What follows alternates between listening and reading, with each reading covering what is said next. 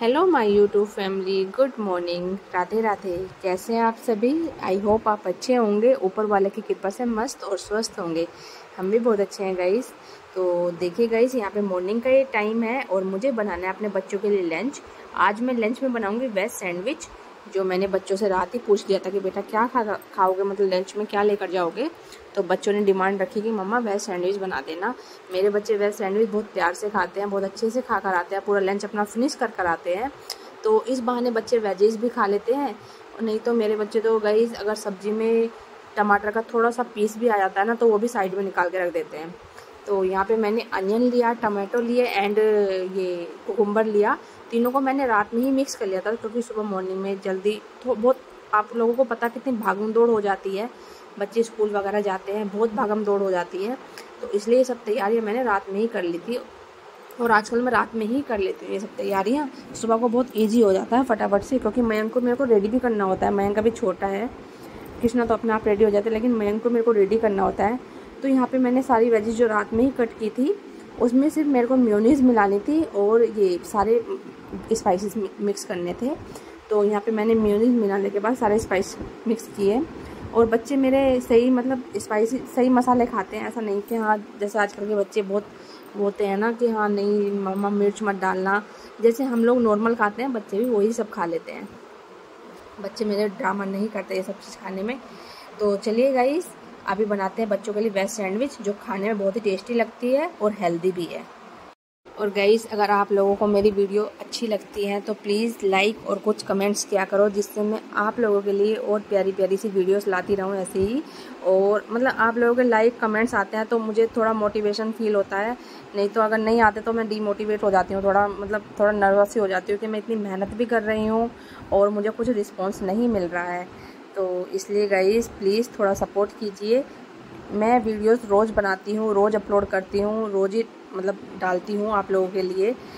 लेकिन आप लोगों को पता नहीं अच्छी लग रही हैं कि नहीं, ये मेरे को ये भी नहीं पता क्योंकि आप लोग कमेंट्स नहीं करते हो। कुछ एक दो कमेंट्स आते हैं आज जो रेगुलर बेसिस पर मेरी वीडियो देखते हैं लोग बाग, उनके आते हैं। तो चलिए, अगर वीडियो पसंद आती है तो प्लीज़ गाइज़ वीडियो को लाइक किया करो और कुछ कमेंट्स किया करो।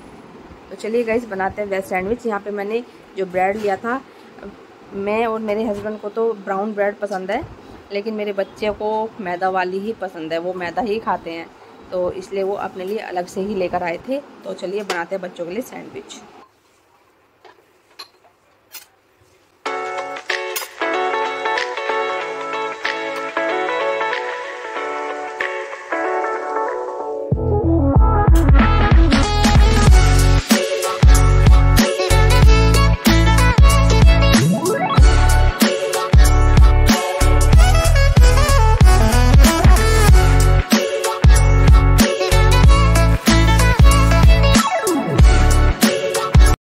सो गई। सैंडविच मेकर में मैंने सैंडविच फिल करके लगा दी है और वो बनती रहेगी। अपने आप पर थोड़ा टाइम लगेगा मतलब दो तीन मिनट तो लगती हैं। तो इस बीच में मैंने सोचा, जो मैंने सुबह मतलब रात में वेजीज कट करके रखी थी क्योंकि कृष्णा के पापा तो प्रॉपर अपना खाना खा के तभी निकलते हैं घर से। तो उनके लिए सब्ज़ी रोटी ही खाते हैं। ये जो मैं कुछ बनाती हूँ ना, बच्चों के लंच वगैरह के लिए थोड़ा बहुत टेस्ट कर लेते हैं बट हमेशा सब्ज़ी रोटी खाकर ही घर से जाते हैं। तो इसलिए मैं सब्ज़ी भी फटाफट से बना लेती हूँ, क्योंकि फिर उसके बाद ये कृष्णा को लेकर जाते हैं और मैं मयंक को लेकर जाती हूँ। और फिर आने के बाद हम लोग चाय वगैरह पीते हैं तो फिर मन नहीं करता थोड़ा बैठ के बातें बैठ कर बातें बातें करते हैं गई फिर उसके बाद साहब, जो मेरे पति देव है वो एक्सरसाइज करते हैं कुछ। थोड़ी बहुत और मैं साफ़ सफ़ाई में लग जाती हूँ। तो ऐसे ही मुझे क्योंकि फिर उसके बाद मुझे वीडियोस वगैरह भी बनानी होती हैं तो इसलिए मैं फटाफट से अपना सुबह मॉर्निंग का काम कर लेती हूँ। अगर ज़्यादा देर बैठ जाऊँ ना तो सारा रूटीन मतलब गड़बड़ा जाता है टाइम बहुत मतलब काम बहुत लेट हो जाता है। अगर ज़रा सी देर बैठ जा तो जाती हूँ ना तो मतलब जब सुबह मॉर्निंग की चाय पीते हैं तभी बैठती हूँ, नहीं तो कंटिन्यू में सुबह छः बजे से मतलब ग्यारह दस और ग्यारह के बीच में मेरा सुबह मॉर्निंग का सारा काम हो जाता है। रीज़न ये है क्योंकि उसके बाद मुझे बनानी होती है वीडियोस वगैरह और इसलिए मुझे फटाफट से अपने घर का सारा काम करना होता है। तो चलिए यहाँ पे सब्ज़ी बना देते हैं फटाफट से और आटा गूट के रख देती हूँ और जब ये जाएँगे तब रोटी बना दूँगी। तो देखिए गई यहाँ पे कृष्णा भी आ गए हैं मेरी हेल्प कराने के लिए और मेरी सैंडविच पूरी रेडी हो गई है बनकर और मैं कृष्णा से पूछ रही हूँ, बेटा, कितनी सैंडविच रखूँ? क्योंकि इनका फ्रेंड सर्कल भी है फ्रेंड वगैरह भी खा लेते हैं। तो मतलब जब मैं ऐसी चीज़ बनाती हूँ ना तो कृष्णा कहता है कि मम्मा मुझे कुछ मिलता ही नहीं, मेरे फ्रेंड ही खा लेते हैं सब चीज़ें। मैंने कहा, बेटा, आप भी खाया करो, फिर आप भूखे रहते हो सुबह मॉर्निंग से, क्योंकि ज़्यादा हैवी ब्रेकफास्ट भी करके नहीं जाते ये लोग, वैसे दूध और दूध हल्का फुल्का एक दो बिस्किट वगैरह खाते थे, खाते भी नहीं है। कितना भी कह लो इनको, कितना भी जिद कर लो, दे लो, मुँह में डाल दो बट खाते नहीं हैं। तो चलिए गाइस यहाँ पे बच्चों का लंच पैक हो चुका है और हम करते हैं अपने आगे के काम। सो गाइज़ फाइनली दोनों बच्चे मेरे जा चुके थे स्कूल कृष्णा को ये लेकर गए थे और मयंक को मैं लेकर गई थी। उसके बाद हमने चाय वगैरह पी और उसके बाद सोचा, जो मॉर्निंग में साफ़ सफ़ाई करती हूँ, उसका रूटीन आप लोगों के साथ शेयर करूँ। तो यहाँ पे मैंने झाड़ू वगैरह तो लगा दी थी बच्चों के मतलब जाने के बाद, थोड़ी देर के बाद, झाड़ू वगैरह लगाने के बाद तो यहाँ पे डस्टिंग कर लेती हूँ। झाड़ू लगाने से गाइज़ ज़्यादा टाइम गाइज़ मेरे को डस्टिंग करने में लगता है। क्योंकि यहाँ पे डस्ट इतनी आ जाती है ना, छोट मतलब बहुत बारीक बारीक सा आता है। और मतलब ऐसी हैबिट बनी हुई है कि हाँ प्रॉपर पूरी डस्टिंग करनी है, तभी मन को शांति मिलती है। तो गई एक एक चीज़ क्लीन करने का रीज़न ये भी है, जो मेरा बड़ा बेटा है ना, कृष्णा, उसको डस्ट से बहुत ज़्यादा एलर्जी है। तो स्पेशली डॉक्टर ने बोला हुआ है कि इसको डस्ट से मतलब बचाओ, बिल्कुल जैसे डस्ट जरा सी आती है ना मतलब बाहर जैसे मौसम चेंज होता है, धूप वगैरह में जाता है तो इसको एकदम छींकी आने लग जाएगी। तो इस टाइप से ना हो जाता है इसको। तो इसलिए मैं डस्ट से बहुत ज़्यादा मतलब पहले ही नीट एंड क्लीन बिल्कुल साफ़ सुथरा रखती हूँ। बेडशीट भी हर तीसरे दिन चेंज करती हूँ मैं। ऐसा नहीं है कि हाँ हफ़्ते में एक बार तो मैं तीसरे दिन तो चेंज करती ही करती हूँ।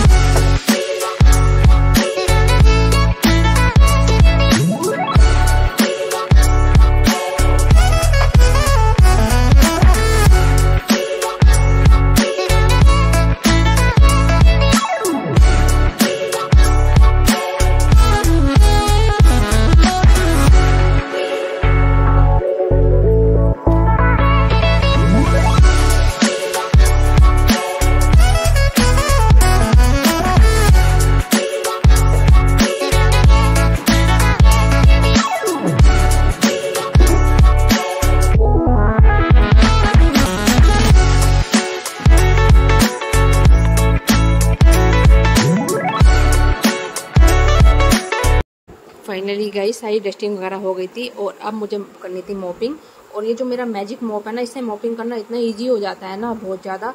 फटाफट से मोपिंग हो जाती है। मतलब बैठकर पोछा लगाओ, उससे तो मतलब साफ़ तो रहता ही है बट इससे भी बहुत अच्छा हो जाता है। मुझे तो बहुत अच्छा लगता है इससे पोछा लगाना और बिल्कुल नीट एंड क्लीन लगता है। ऐसा नहीं है कि यहाँ फॉर्मेलिटीज़ हो रही है, बहुत अच्छा मोपिंग होती है इससे भी।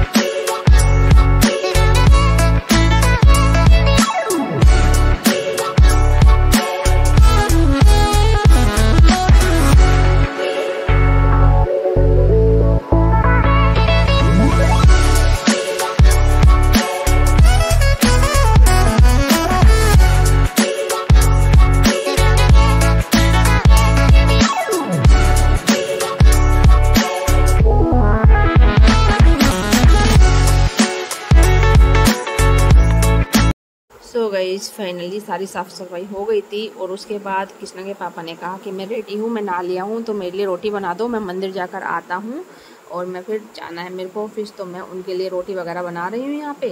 क्योंकि देखो गाइज़ यही रीज़न है मेरा कि हाँ मैं मॉर्निंग में सब्ज़ी बनाकर और आटा गूँथ के रख देती हूँ, क्योंकि मतलब इनको सुबह जल्दी जाना होता है। तो जब भी भी जाते हैं मतलब तो बस मुझे रोटी बनानी होती है।